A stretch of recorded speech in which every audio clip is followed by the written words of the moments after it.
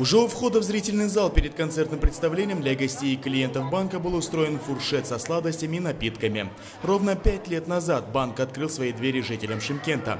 Первую поздравительную речь произнес председатель правления дочернего банка акционерного общества «Сбербанк» Камалов Александр Ильясович. В первую очередь я хотел поблагодарить всех наших клиентов, партнеров, которые доверяют нашему банку, которые пользуются э, нашими продуктами и сервисом благодаря которым, соответственно, мы развиваем, собственно, эти продукты и сервисы. Хотел, конечно, поблагодарить наших сотрудников, результаты которых, собственно, приводят э, наш банк э, все больше и большим результатам.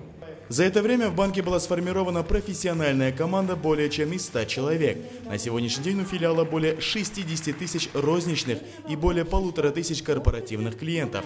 И в этот вечер клиентам, работающим с филиалом самого его основания, были вручены благодарственные письма.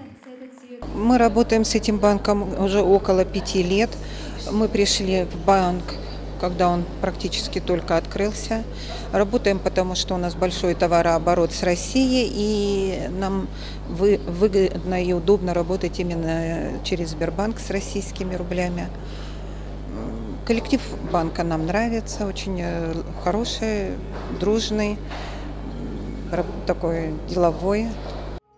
В день рождения шимкентский филиал порадовал своих гостей прекрасной концертной программой, в которой приняли участие ученики музыкальной школы номер один Омаровой. И это не случайно, следуя своим традициям, банк решил уделить внимание детям, их талантам и творчеству, подарив школе оборудование для звукозаписывающей студии и музыкальные инструменты.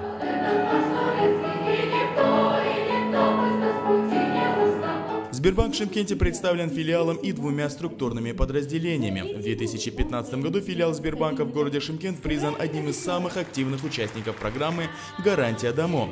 Качественный показатель работы банка – это растущая востребованность его финансовых услуг у населения.